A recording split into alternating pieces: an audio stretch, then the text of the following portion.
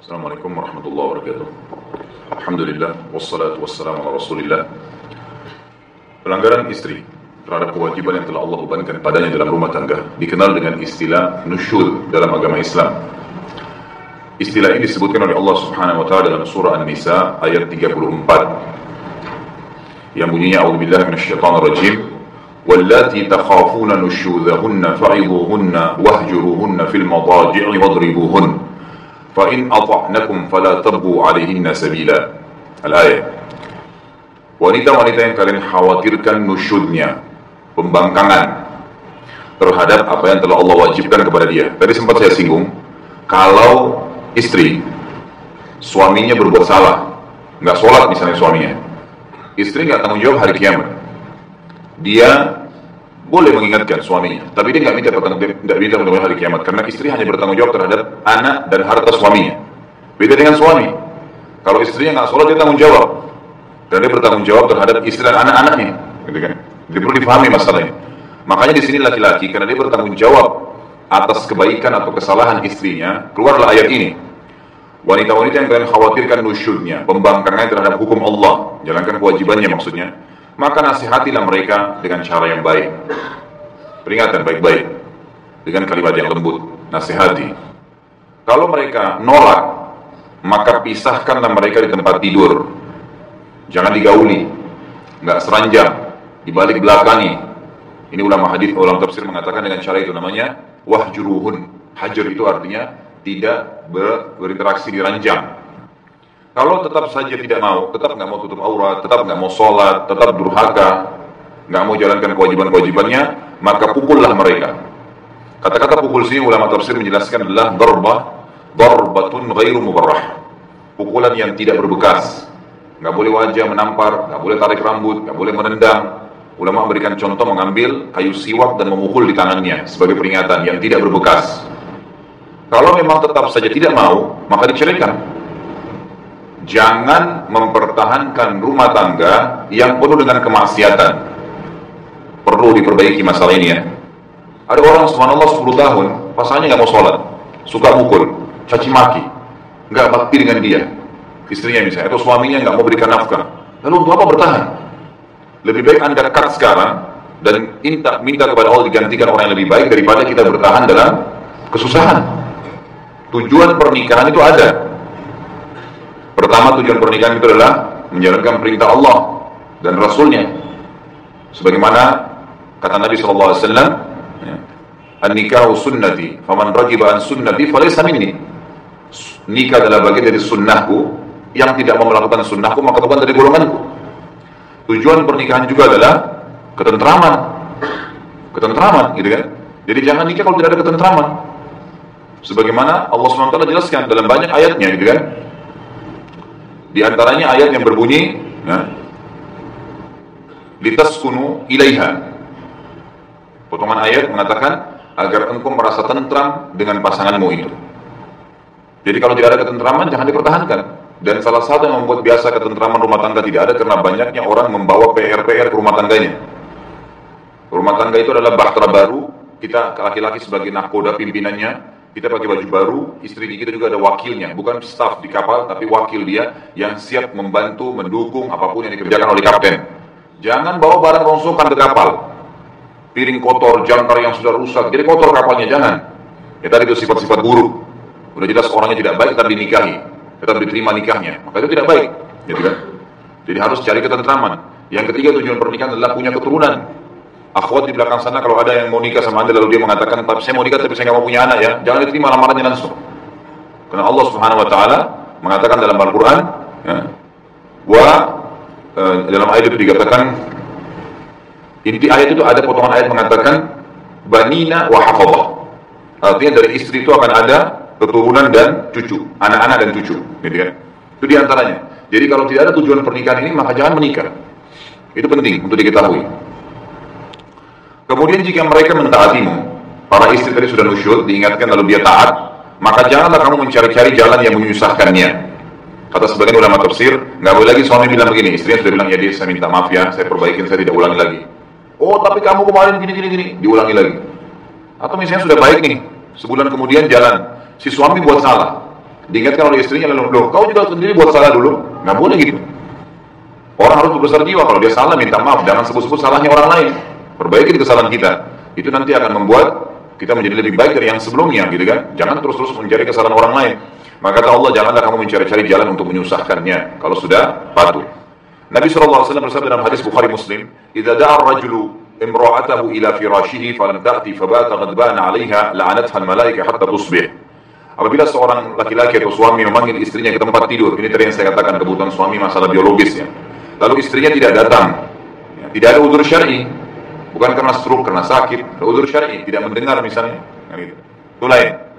Lalu suaminya sampai tertidur, sementara dia belum datang dan suaminya marah padanya, maka para malaikat melaknatnya hingga pagi hari. Artinya laknat ini diangkat berkah hidupnya. Jadi walaupun si perempuan itu misalnya pergi, pergi ke orang tuanya, gitu kan, tetap di sana dia akan gelisah, tidur di kamar lain, tetap dia tidak bisa tidur. Diangkat berkah hidupnya hilang, gitu kan, oleh malaikat sampai suaminya ridho. Dalam hadis yang lain di Sahihain, "Idza batat imra'atu hajiratun firasha zawjiha la'anatha al-malaikah." Apabila seorang istri tidur di malam hari dengan memisahkan diri dari kasur suaminya, maka para malaikat melaknatnya. Jadi di sini jelas dilarang. Gitu kan. Juga dalam lafaz lain dikatakan kata Nabi SAW, "Walladzi nafsi biyadihi, ma min rajulin yad'u imra'atahu ila firashiha, fata'ba 'alaihi illa kana alladhi fis samai sakhitan 'alaiha hatta yarda 'anha zawjaha." zawjuha. Demi zat yang jiwaku berada di tangannya manusia demi Allah, tidaklah seorang laki-laki memanggil istrinya ke tempat tidurnya, lalu istrinya itu menolaknya, melainkan zat yang di langit Allah murka kepadanya, hingga suami itu ridho kepadanya, hingga suaminya ridho kepadanya. Kalau ada masalah-masalah pribadi, misal suaminya nggak jaga kebersihan, diingatkan dengan cara baik-baik, diingatkan dengan cara baik-baik, tapi bukan dengan penolakan yang akhirnya membawa kepada nusyud, gitu kan? Juga Nabi SAW mengatakan, Saking pentingnya hak suami sampai istri nggak boleh ibadah sunnah, puasa sunnah, sholat sunnah, terutama puasa ya. Kalau suaminya lagi cuti, misalnya hari Senin ambil cuti di rumah, istrinya biasa puasa Senin Kamis nggak boleh puasa sampai izin dengan suaminya dulu. Karena melayani suami wajib berpuasa tadi sunnah. Sebagaimana sabda Nabi SAW, La yahillu limra'atin an tasuma wa zawjuha syahidun illa biidni, wa la ta'zam fi baitihi illa. Riwayat Bukhari. Tidaklah halal bagi seorang perempuan untuk berpuasa sementara suaminya ada di rumah kecuali dengan izinnya. Dan tidak halal pula mengizinkan seseorang masuk rumahnya kecuali dengan izinnya walaupun kerabatnya walaupun orang tuanya. Harus dia pamit dulu dengan suaminya. Juga dalam hadis riwayat Tirmidzi kata Nabi SAW "Lau kuntu amiran ahadan an yasjuda li ahadin la amartu imra'ata an tasjuda li zawjiha. Atau al-mar'ata an tasjuda li zawjiha. Kalau boleh saya menyuruh orang lain sujud kepada selain Allah maka saya niscaya saya akan perintahkan istri untuk sujud kepada suaminya. Tapi nggak boleh sujud itu saking besarnya ya haknya suami Kemudian ada seorang perempuan, bibinya Ibnu Muhsin. Seorang sahabat, ini bibinya dia gitu. Datang ke rumah Aisyah radhiyallahu anha, kemudian menceritakan semua keburukan suaminya. Waktu Nabi SAW masuk dan Nabi dengar dalam riwayat Sahih riwayat An-Nasai, kata Nabi SAW, "Unduri aina anti minhu fa innahu jannatuki wa naruki."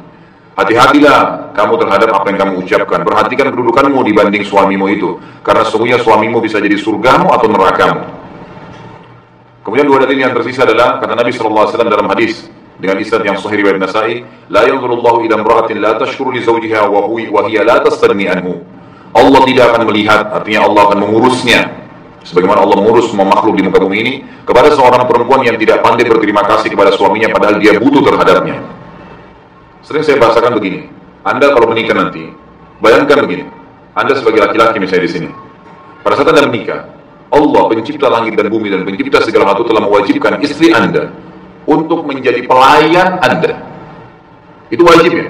Kewajiban istri untuk melayani, cuci baju, masak, layani biologis, apa saja. Siapa dia? Orang yang tadinya hidup di rumahnya terhormat dengan ayahnya, dengan ibunya. Tiba-tiba kita nikah dengan kalimat akad, pindah ke sini jadi pelayan. Namanya istri dari pelayan, melayani suaminya. Dan Allah gantungkan ibadah di situ untuk dia. Kan gitu maka berbuat baiklah sama istri itu. Makanya kata Nabi SAW, berbuat baiklah dengan istri kalian karena mereka tawanan di tangan kalian, seperti tawanan. Pindah dari rumah ayahnya, masuk rumah kita, lalu melayani kita, masak, ini, itu, semua dikerjakan. Dari mana dia tadinya hidup bebas di rumah orang tuanya kok, gitu kan? Dan kalian telah menghalalkan kemaluannya dengan kalimat Allah. Maka berbuat baiklah dengan komunitas. Bermah lembutlah dengan mereka, gitu kan? Sampai Umar tadi sudah mengatakan, kami kalau pulang ke rumah kami menghadapi istri kami, seperti kami kembali masa anak-anak. Jadi lupa semua kepenatan, bercanda terus dengan istrinya gitu. Dan itu halal. Kata Nabi SAW, termasuk tidak ya, yang tidak termasuk lagu, lagu itu hal sia-sia yang Allah tidak suka, adalah bercandanya suami dengan istri atau istri dengan suaminya. Jadi biar berjalan-jalan itu ibadah. Makanya syaitan tidak mau itu. Malah orang kalau pacaran yang dibuat senang bercanda. Orang yang suami istri malah dibuat saling jauh, benci. Kita harus melawan itu. Kemudian begitu juga sama istri. Anda yang menjadi istri. Anda hidup memang di rumah orang tua Anda, diberikan makan, minum. Begitu Anda menikah, suami Anda diwajibkan oleh Allah digantung ibadah untuk menafkahi Anda. Apa itu nafkah? Kebutuhan pokok kan? Makannya, minumnya, pakaiannya, tempat tinggalnya. Siapa laki-laki? Orang yang tadinya setengah mati jadi sarjana, cari kerja banting tulang, terakhir untuk hidup di perempuan ini. Maka wajar kalau istri itu bersyukur pada suaminya. Orang yang tidak dikenal sebelumnya lalu tiba-tiba menaungi dia. Sering saya bahasakan untuk akhwat kita supaya hati-hati dengan nusyud ini. Kalau misalnya lagi hujan nih, terus ada kita lagi mampir depan rumahnya orang. Yang punya rumah bilang begini, bu, bu masuk aja bu di sini, di teras saja, nggak butuh apa. Cuma disuruh tunggu nanti kalau ada hujan baru kita pergi. Kira-kira ibu-ibu di belakang sana. Kalau seandainya, gitu kan? Seandainya Anda lewat setelah itu, sudah pamit nih pulang. Besok lewat atau seminggu lagi lewat depan rumah itu. Apa yang Anda bilang tentang tuan rumahnya? Pasti kita akan bilang orangnya baik ya. Hanya apa? Hanya menyuruh kita nunggu sampai hujan berhenti saja. Bagaimana kalau dia kasih teh, pisang goreng, suruh duduk, diajak ngobrol. Oh luar biasa pujiannya. Sekali aja. Setiap kita lewat, orang ini baik ya. Oh rumahnya saya dikasih masuk dari pisang goreng. Ini. Suami anda kadang-kadang subhanallah ada suami yang sudah naungi 20 tahun istrinya. Lupa itu pisang goreng yang dia makan berapa banyaknya, teh yang dia minum, rumah yang ada tidak kena hujan, pakaian yang dia pakai, gitu kan. Makanya Nabi SAW mengatakan waktu pernah ada sahabat bilang begini, ya Rasulullah, khususkan waktu buat kami, perempuan, kami mau khusus gitu. Nggak campur sama laki-laki. Kata Nabi SAW, baiklah, tentukan hari. Waktu tentukan hari perempuan semua. Nabi SAW lalu ceramah. Dan ini dalil bolehnya seorang dai berceramah di depan perempuan, tapi untuk masalah ilmu, gitu kan. Tidak ada fitnah di situ.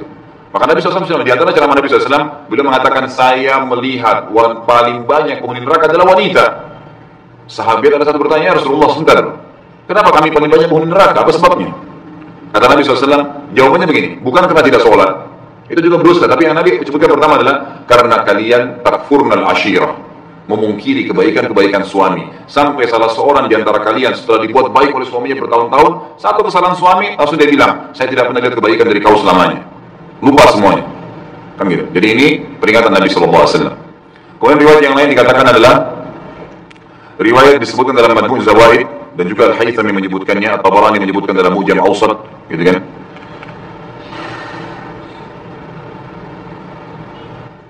Dan ini khilaf di antara ulama tentang kesahihan derajatnya, tapi ada yang mengatakan rijalnya thiqat, ya perawi-perawinya benar, ada yang mengatakan juga matruk atau tertinggal gitu kan. Kita ambil di tengah-tengahnya dengan syarat yang hasan.